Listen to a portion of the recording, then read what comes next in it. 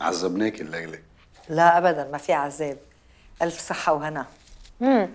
بعد ما شفت شيء أطيب أكل بتعمله نيله بدك تذوق استروغونوف اللي بتعمله. آه بعد فيه كمان. بتعرف قد إيه صار لي مشاكلك البيت أنا؟ سنين. على طول بالشغل بالشغل. يعني مش رح ولا عزيمة إذا بتعزميني. حبيبي شو دكتور. ما بدك عزيمة البيت بيتك. أهلا وسهلا. شكرا شكرا.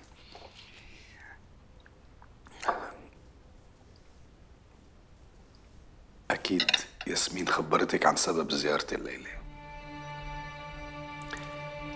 أنا وياسمين صار لنا فترة بنعرف بعض وعم نلتقي و... وسامي صار شافي مني.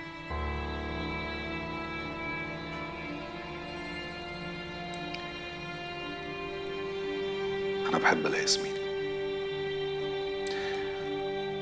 بعرف إنه راح أقدر أساعدها. مشان هيك إحنا قررنا نكمل حياتنا سوا.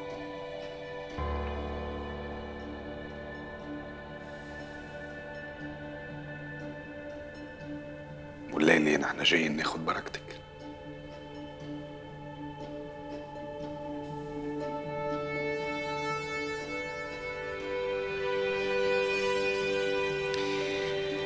نحن قررنا نتجوز بآخر الصيفية هيك بنعطي شوية وقت لياسمين لتخبر ورد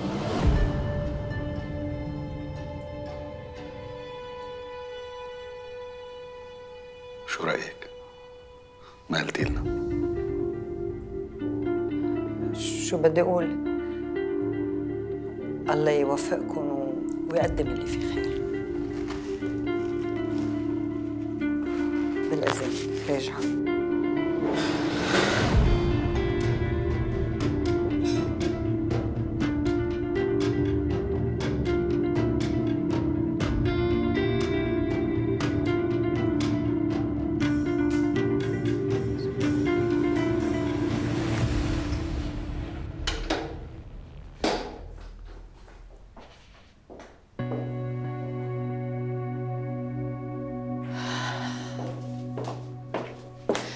في افهم شو عم بيصير معك؟ كيف بتغوصي بهيك غوصة؟ انت واعية إذا جوزتي لزياد ورد بقشتك سامي؟ أول شيء وطي صوتك. تاني شيء مش مزبوط مين قال لك؟ أنا سألت المحامية وقالت لي إنه ما في يعمل شيء يا عمي اتركيني مبسوطة. ليه بدك تعكري لي مزاجي؟ عكر لك مزاج أنا عم بعكر لك مزاجك هلا؟ صحيح إنه كلامي صار تقيل على قلبك. صدق المثل اللي بيقول أنا قلبي على ولدي وقلب ولدي على حجر. امي بشرفك هو بس يوعى سامي وأنا ما بدي شيء بهالدنيا. إن شاء الله. إن شاء الله يا الله